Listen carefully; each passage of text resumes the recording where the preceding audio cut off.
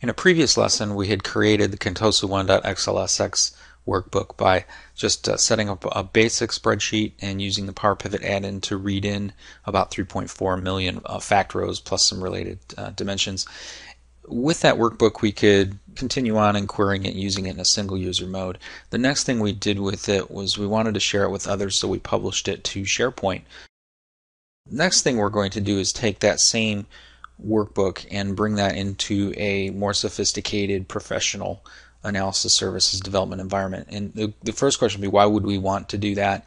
And and the reason we would is because it's it's it's much more scalable. We can use even more memory, even more features. We can use partitioning and um, security roles. And there's just a lot of things we can do once we move that into a database server environment. So that's what we'll do next. The nice thing about this process is it's really, really easy. So if you can imagine, you might have power users out there that are creating their own Power Pivot for Excel workbooks, and, and they're they're doing all the research, all the analysis, they're modeling calculations, and they're, they're getting a lot of our traditional database work done for us and and then we can take what they've done right from that point and bring it into a large scale solution which is something we haven't been able to do before. So let's look at how easy that is to do. So I'm running my uh, SQL Server data tools in the Visual Studio 2010 environment and what I'm going to do is create a new analysis services project and I have a project type import from Power Pivot. I have to give it a name. I'm going to give it the same name I've been using. So Contoso 1 and these default folders are fine. I'll click OK. So what it's going to do is ask me to point out and pick the spreadsheet that I started with, and it's going to read it. So I'll choose Contoso 1 and open. And from there, the project wizard really is going to do virtually everything for me. So all I have to do is wait. I can see some status down here about pre preparing content, opening the uh, BI model file, um, and then the last thing it will do is actually read in the data from the, uh, the workbook into my model. So it's done that, and if I look through this, if you watch the lesson on using Power Pivot for Excel, this looks really familiar. It's kind of a blue casted color rather than green. Um, but uh, you know, basically, it looks about the same. So we still have our tabular view. We still, if we click on this diagram button, um, we can see the ER diagram look of it. Um, but uh, you know, other than some of the navigational items items being moved around, um, you know, we don't have a ribbon. We have more things on menus, but really, most of the features that we saw before are here.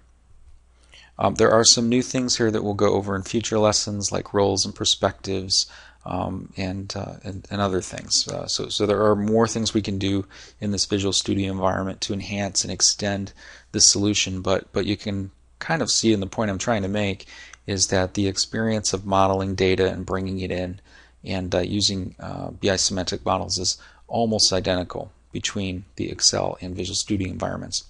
I'm going to do one thing before I actually publish this to a server. I'm going to add one measure. So this will be our first measure, and uh, what I'm going to do is is use a a little auto sum feature to add a uh, a measure called sales amount. We'll get into this in more detail later, but um, I'm going to give this measure a easier name than that, and I'll just call it sales. And that's all it really takes to create a, a named measure within uh, within this uh, design environment. Now, one thing before I deploy this that I'm going to do is I'm actually going to test and look at it. And I am going to point something out to you that's really interesting. So currently, I'm everything I'm doing is local on my own developer workstation. And if I want to browse this cube, if you remember in uh, previous versions of BIDS to browse a cube, we uh, we had a browse function that would launch, and it was a, a, cube browser, which was very nice, but didn't look at all like what end users actually use. So the good news from that point of view is that now in your development environment, when you're going to browse your model to see what it's going to look like to the end users, you actually are going to be using an end user tool, and you'll be using Excel. As you can see, this is uh, just a, a, regular cube browsing um, scenario. I can choose my my channel and, and do everything I need to do and check to make sure that this is okay. Now, one thing I really want to point out to you here is that I, I'm running my development environment has a local instance of analysis services uh, for Tabular, and this connection is actually to my local workstation model. So if I look at the definition, it's it's not on a database server. It's actually on uh, my local uh, my local environment, and this machine name is LabWin7, and there's some random database name that's been created. Okay, that's kind of important because when you are working in this development environment, unlike in previous versions, you can see all the data is right here in front of you. In BIDS with the SQL 2008 R2 and prior, you didn't see data here generally. You, you weren't really working with live data. Now you are. So there's just some differences that you have to take into account. The biggest thing probably to, to, to think about is if you're using a local instance like I am, you really can't you know be developing a cube with your full data set. So you have to plan how you're gonna how you're gonna cut that down. But in any case, uh, once we're happy with this design, and we are for now, we have to tell it where we actually want it to go.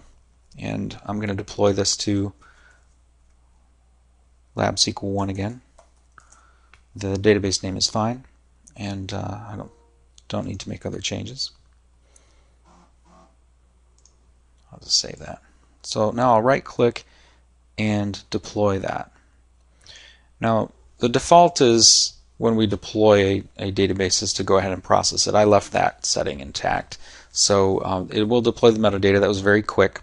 And then the next thing it's going to do is, is process. And while that's happening, we'll just explain that, that what's happening is over on the server.